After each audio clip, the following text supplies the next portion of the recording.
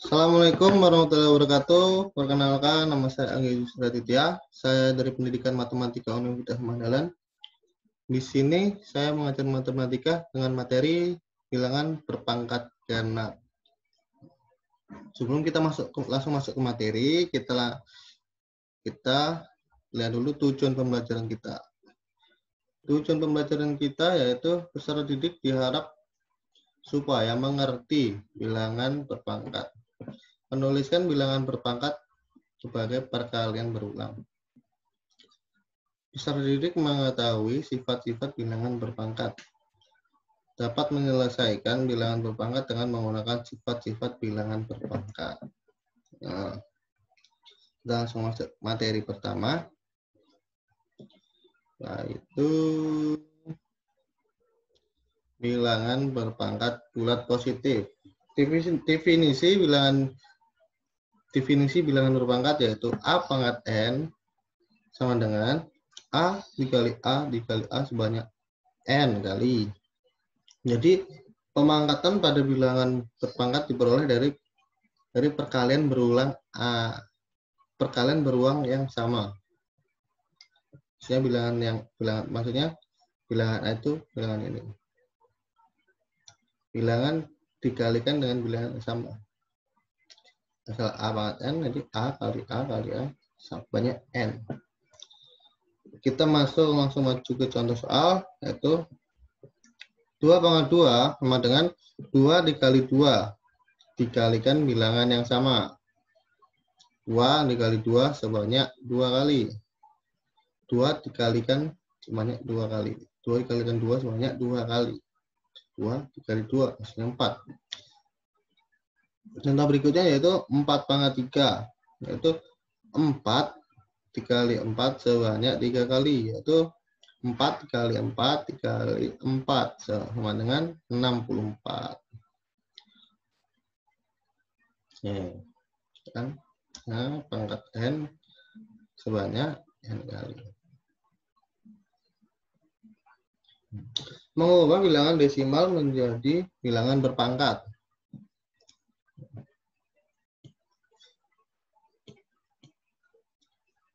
Kita lihat, langsung kita lihat ke contoh soalnya. Di sini kita mempunyai soal yaitu ubahlah bilangan 108 menjadi bilangan berpangkat.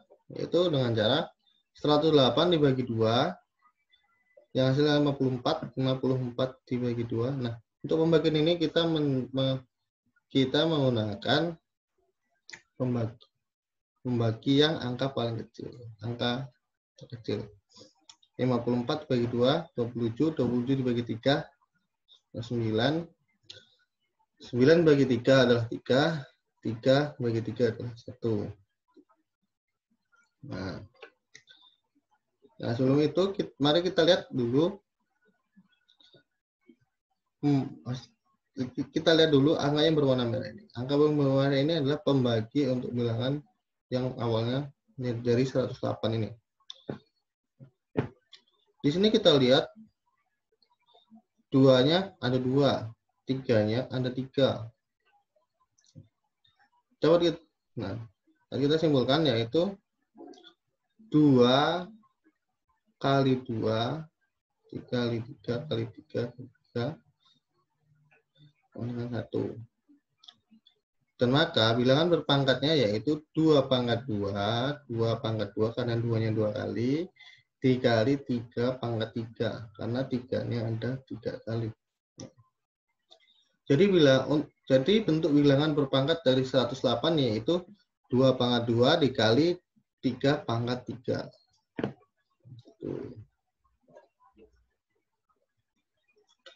Langsung ini berikutnya operasi hitung bilangan berpangkat. Yang pertama, operasi hitung penjumlahan. Pada operasi hitung penjumlahan ini kita kita ketahui bentuk umum dari operasi hitung penjumlahan yaitu a pangkat n ditambah a pangkat n sama dengan a pangkat n seperti yang slide sebelum ini yaitu a dikali A sebanyak N kali dan yang dijumlahkan juga ya A dikali A sebanyak N kali. Kita masuk ke contoh soalnya. Kita mempunyai soal kita mempunyai soal 5 pangkat 3 ditambah 3 pangkat 5 yaitu sama sama pengerjaannya yaitu 5 dikali 5, 5 dikali 5 sebanyak 3 kali ditambah 3 dikali 3 sebanyak 5 kali. Yang menghasilkan 5 kali 5 kali 5 125 dan 3 kali 3 kali 3 kali 3 kali 3 243 sama dengan 368 lalu sekarang bentuk operasi pengurangan. Pada bentuk operasi pengurangan ini masih sama seperti operasi penjumlahan tetapi yang membedakan yaitu antara peng, ini penjumlahan ini pengurangan kalau yang tadi ditambah sekarang ini dikurang Tuh. Nah, kita harus maju ke contoh soalnya. 3 pangkat 5 dikurang 5 pangkat 3, yaitu 3-nya dikali 3 sebanyak 5 kali. Atau 3 kali 3 kali 3 kali 3 kali 3. Kurang 5-nya. Ya, 5 3 kali. Atau 5 kali 5 kali 5 kali 5. Nah, 3 3 kali 3 kali 3 kali 3. 3 pangkat 5 berapa? 243 dan 5 pangkat 3 atau 5 kali 5 kali 5 adalah 125. Nah, sekarang kita jumlahkan, eh, kita kita kurangkan yang menghasilkan 118. Jadi 368 ini jum, dari bentuk penjumlahan 118 ini dari hasil untuk pengurangan. Nah, sifat pertama. Sifat pertama ini mempunyai A pangkat 0 sama dengan 1. A tidak sama dengan 0. Sifat pertama. Sifat kedua yaitu A pangkat N sama dengan A per N. Contoh bilangan berpangkat negatif yaitu contoh dari ini itu kita mempunyai angka 3 pangkat negatif 2. Nah, 3, 3 pangkat negatif 2 dapat kita ubah menjadi 1 per 3 pangkat negatif pangkat 2. Nah, seperti sifat yang kedua ini. Oke. Okay? Oke. Okay.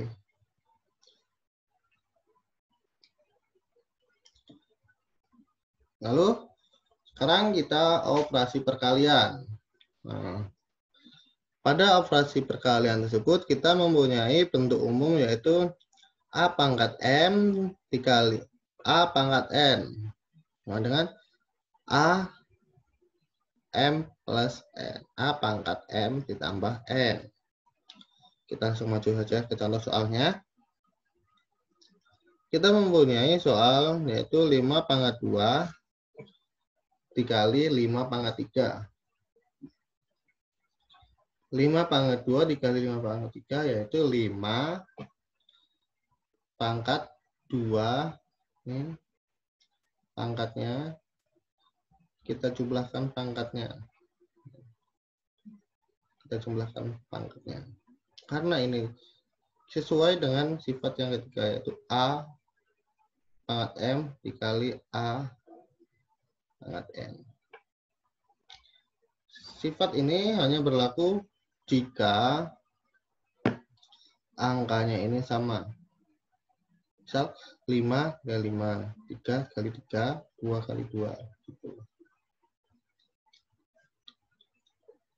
Nah, kita jumlahkan saja ini. 5 pangkat 2 tambah 3. Hasilnya 312. Contoh kedua. Nah, contoh kedua ini memiliki sifat keempat yaitu A pangkat M dikali B pangkat M dengan A kali B pangkat M. Nah, kalau sifat yang ini kalau sifat yang ini kita langsung masuk soalnya aja. Kalau sifat yang ini, kita perlu mengalihkan angkanya dulu.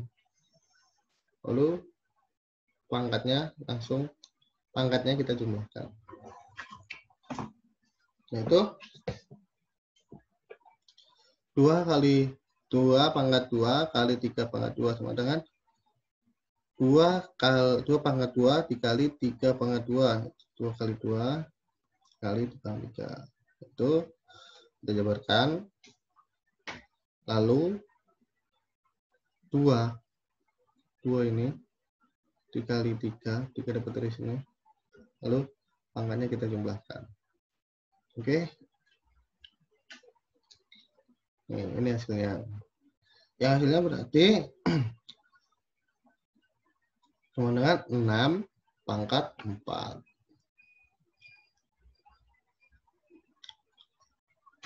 Lanjut. Kita ke sifat pembagian. Sifat pembagian ini kita mempunyai bentuk umum yaitu sifat kelima yaitu A pangkat M dibagi A pangkat N sama dengan A pangkat MN. Nah, sifat pembagian ini kebalikannya dari sifat perkalian tadi. Kalau perkalian tadi kan A pangkat M dikali A pangkat N sama dengan A pangkat M plus N. Kalau pembagian ini bedanya di sini. A pangkat M min N. Kita masuk ke contoh soal. Kita mempunyai soal yaitu 4 pangkat 5 dibagi 4 pangkat 3. Sehingga kita jabarkan kita jabarkan 4 pangkat 5 yaitu 4-nya dikali sebanyak 5 kali dibagi 4 pangkat 3. 4-nya dikali sebanyak 3 kali.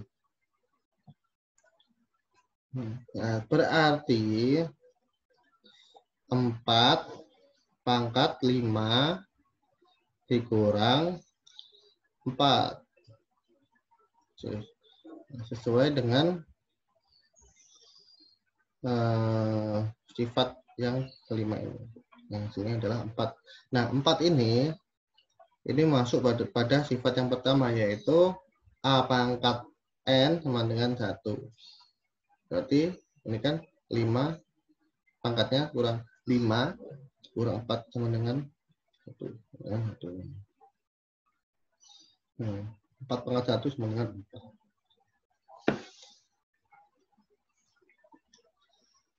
Sifat berikutnya yaitu A pangkat N dibagi B pangkat N. Yaitu A per, per A per B pangkat N sifat yang ke 6 kasih dah contoh soalnya yaitu 4 pangkat 4 dibagi 2 pangkat 2 penyelesaiannya. 4 pangkat 4 dibagi 2 pangkat 4 tadi 4 nya dikali semuanya 4 kali dan 2 nya maaf ini salah harusnya di sini 2 mohon maaf. Nah 2 nya dikali semuanya 4 kali Nah, itu 4 kali 4 kali 4 kali 4 dibagi 2 kali 2 kali 2 kali 2. Yaitu 4 per 2 atau 4 dibagi 2 angkat 4. Karena N-nya sama. 4, 4. Tuh. Soal berikutnya. Perpangkatan bilangan berpangkat.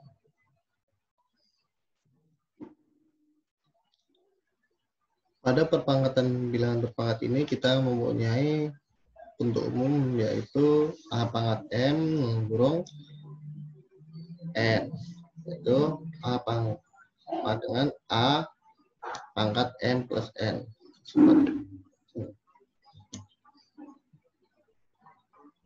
Contoh soalnya kita mempunyai soal 4 pangkat dalam kurung buka kurung 4 pangkat 3 untuk kurung pangkat 3 hmm. Ini kita penjelasannya. Nah, berarti biasanya yaitu 4 pangkat 3 dikali 4 pangkat 3 sama 3 kali. Yang punya hasil, kita langsung cek ke sini, yaitu 4 pangkat 9. Hmm, soal kedua, ini soal kedua.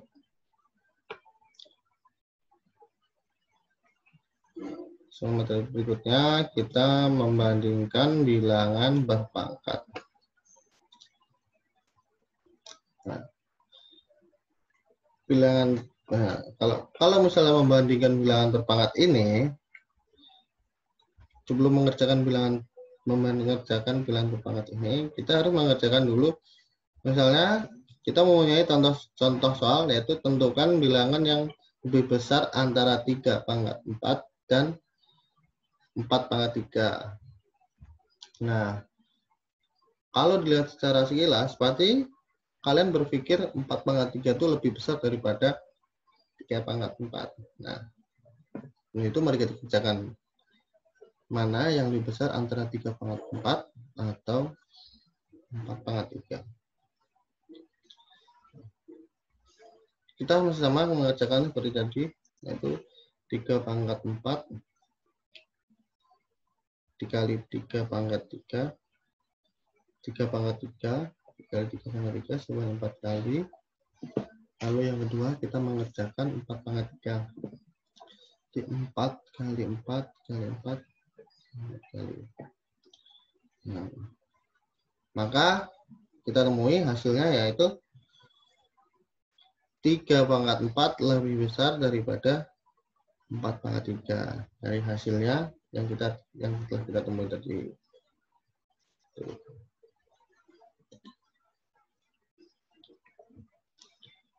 Hmm. Untuk tugas,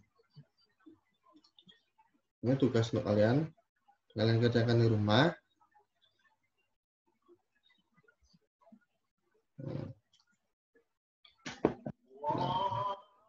Untuk PPT nanti Bapak share. Ini Pak share sini. Ini, ini untuk tugas kalian di rumah. Mohon dikerjakan dengan baik dan jujur. Terima kasih. Assalamualaikum warahmatullahi wabarakatuh